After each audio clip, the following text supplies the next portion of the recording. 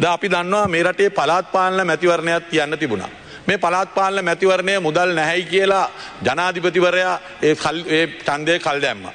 දැන් අපි සියලුම දෙනාම දන්නවා දැන් ජනමත විචාරණයක් ගේන්න එතුමා විසිවෙනිදි දෙවැනි සංශෝධනය පාර්ලිමේන්තුවට ගේන්න හදනවා.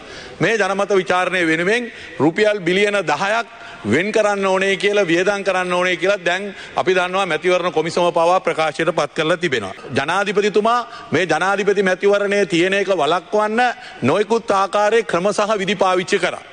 යා මේ තිබෙන විශේෂයෙන්ම ආණ්ඩු ක්‍රම විවස්ථාවේ තිබෙන පුංචි පුංචි හිල්වලින් රිංගන්න පුළුවන්ද කියලා ජනාධිපතිතුමා උත්සාහ කරා.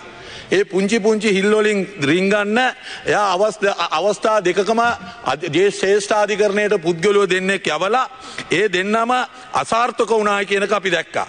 ඒ දෙකම අසාර්ථක වුණාට පස්සේ තමයි ජනාධිපතිවරයා කැබිනට් එකේ විසි දෙවැනි සංශෝධනය ගේන්න මේ සම්මත කරගත්තේ. එතකොට අධිකරණ ඇමත්තුමා ඒක නැවත්තුවා ඊළඟට ජනාධිපතිවරයා අධිකරණ ඇමත්තුමාට ඉහලින් ගිහිල්ලා නියෝගය දුන්නා මේක කරන්න කියලා. අද අධිකරණ ඇමත්තුමා ඇවිල්ලා කියනවා නෑ මාව දැනුවත් කරලා තමයි කරේ කියලා. ඉතින් අපි දන්නේ නැහැ මේ අධිකරණ ඇමත්තුමා වෙලාවකට කියනවා එතුමා ඒක නැවත්තුවයි කියලා ඊළඟට එතුමා කියනවා එතුමා මේක අපිව දැනුවත් කරලා කරා කියලා.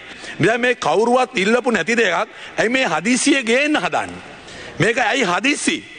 මේ මැතිවරණයක් ළඟ තියාබයන ජනාධිපති මැතිවරණය ප්‍රකාශයට පත් කරන්න දවස් කීපයක් තිබිද්දි ඒක ගැසත් නිවේදනය කරලා ඒක දැන් පාර්ලිමේන්තුවට ඉදිරිපත් කරන්න ආණ්ඩුව මේ ගේන්නේ කුමක්කෝ යටි අරමුණක් පැහැදිලිව තිබෙන බව ඉතාම පැහැදිලිව අපිට පේන්න තියෙනවා. ඒක තමයි මේ රට තුළ අවිනිච්ච භාවයක් ඇති කරන්න. ඒවගේම අරාජික තත්ත්වයක් රට තුළ නිර්මාණය කරන්න. ජනතාව ඇතුළේ කුතුහලයක් ඇති කරන්න. ඒ කුතුහලය ඇති කරලා ජනාධිපති මැතිවරණයේ තිබෙන වැඩපිළිවලවල් අවුල් කරන්න තමයි රනිල් වික්‍රමසිංහ ජනාධිපතිවරයා මේක ගේන්න හදන්න කියන එක අපිට පැහැදිලිව පේනවා.